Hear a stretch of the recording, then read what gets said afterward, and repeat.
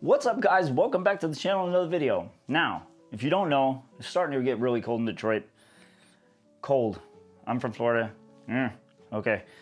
So I wanted to paint myself a little springtime because it's kind of sad outside. It's always overcast, cloudy. It's getting really cold. So these are the colors we're gonna be working with.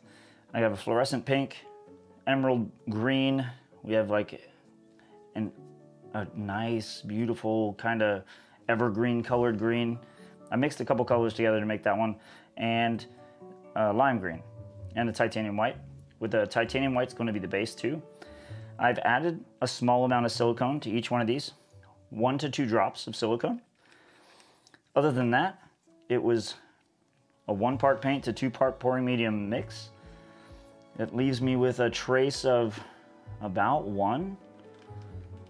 I don't know if you can see that really well, but the trace is about one. You can see the silicone's already trying to do its thing in, in the piles, which is crazy. But this one, I wanted to make it a little simpler. It is gonna be a flip cup because I kind of really like the simplicity of the flip cup. So that's what we're gonna do today. I'm gonna just layer this cup and we're gonna do it to it. So whatever you layer on the bottom of the cup always ends up on the top layer of the paint. So that's why I wanna start with this lime green because that's a beautiful bright color. I'm not sure if you can see me layering this, so I'm gonna put this a little closer. But yeah. How's everybody doing today? I hope everybody's doing amazing. Because of you that I do what I do. And I do it every single day with a smile on my face because it brings me joy to know that I might be bringing just a little bit of happiness to somebody else. You know what I mean? I've been trying to answer the comments from that one video I posted about how I started. And it's it's difficult, guys, to read everybody's traumas and try to give you guys good meaningful responses and I am trying and I'm getting through them. It is just taking me a little longer than I want. But yeah, these. I have a good feeling that these colors are going to end up really, really cool together. So with some of them, I am letting them churn. Like this emerald green, I will let it churn through just a little bit because pushing through those other layers of green won't make any bad color combinations. If anything, it'll help it blend a little bit better. And the white pushing through all the colors isn't going to hurt anything either. It will add a little bit of light and vibrance to the colors that are already there. But yeah, so I don't know. It's been a dark, dreary day. And I'm a positive, upbeat person. So I'm just going to bring the spring to me, if that makes sense. The reason I chose pink was because I was thinking of flowers in the trees and bushes and branches and then a little bit of white maybe for the sky. But yeah. Trying to have nice even layers as we go through. Because three ounces should definitely be enough to cover this. Especially with the base coat. And the base coat is going to be a white also, so hoping that it kind of adds to it, if you know what I'm saying. So let me see. Trying to see right now, there's something, yes. So I'm trying to get something to put over this, so that way when I do flip it, I can just slide it off onto the canvas. Let me put a small amount of this base coat down. I already know that I'm gonna get some spillage, but we'll probably minimize that as much as we can.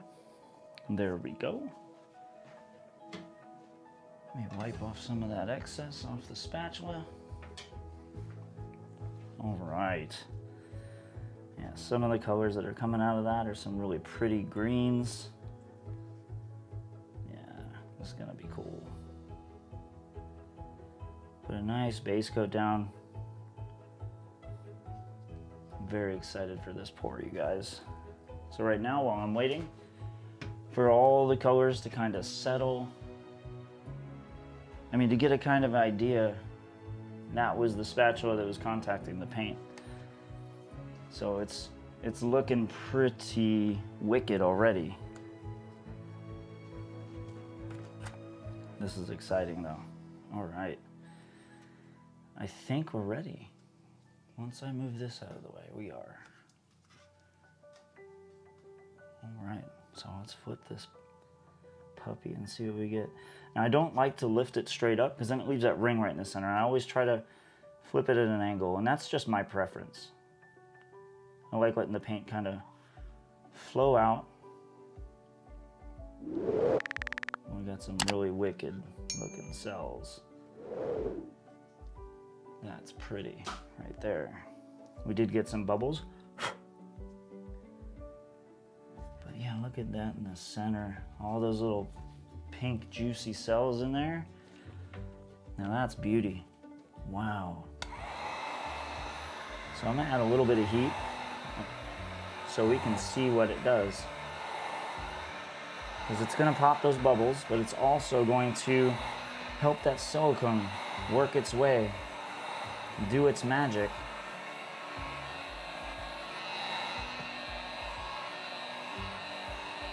And it's definitely doing some magic right now.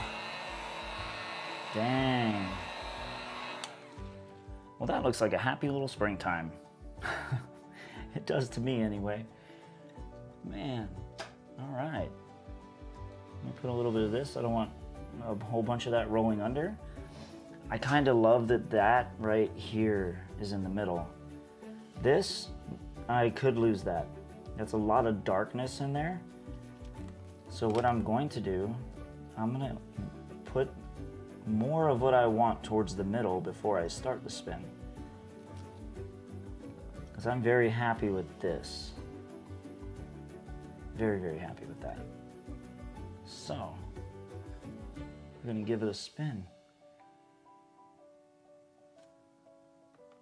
Just a little spin would be more than enough. And we managed to keep, well, that looks like a little skull now, doesn't it? That's different. Some of the cells are really wicked looking. Hmm. All right. Let me, I'm all out of white, but I do have some leftover black.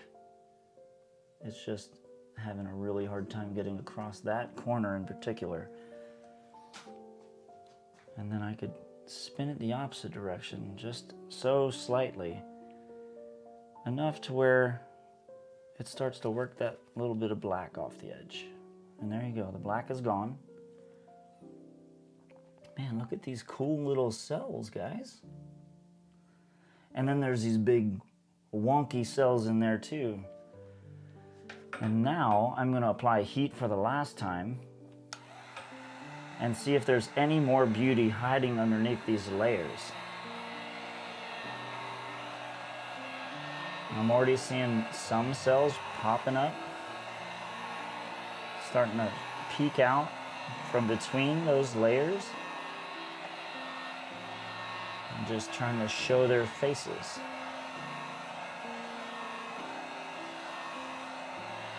This is beautiful. I do like how the pinks are really super subtle.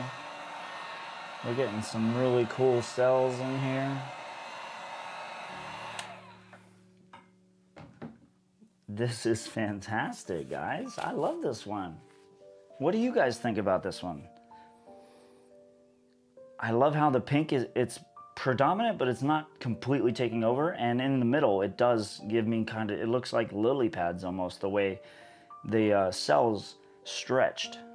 But let me bring you guys down and check this thing out. I'm stoked about this one, guys. You can see all those tiny little cells in there. And then we got a lot of beautiful pinks on the outside. I don't know about you guys, but this one definitely is giving me like springtime vibes. I love it. If you want to watch another video just like this, click the screen right now and I'll see you there.